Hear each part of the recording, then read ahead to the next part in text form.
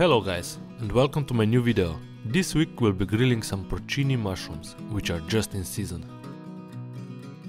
But before we start with the recipe, we need to set up our grill for indirect heat. So this is a very quick and simple recipe.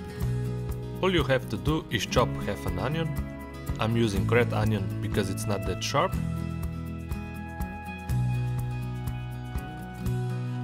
and slice these beautiful and freshly picked porcini mushrooms. And you're all set.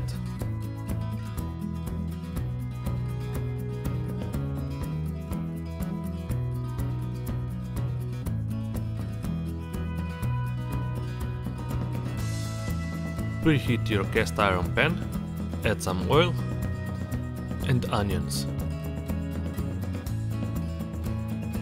After 2 minutes add mushrooms keep them stirring, because you don't want those onions to burn.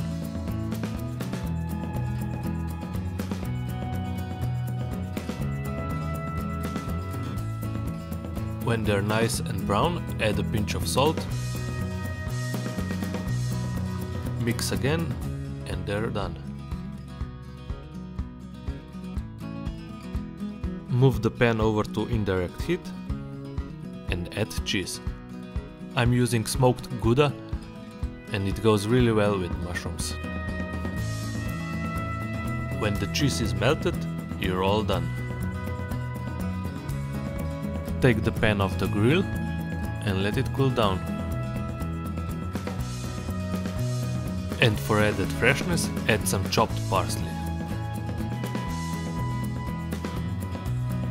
And here it is guys, porcini mushrooms with onions and cheese perfect as a starter or a standalone dish.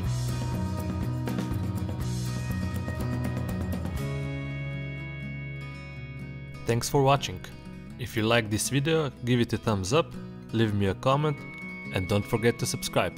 See you next time. Cheers!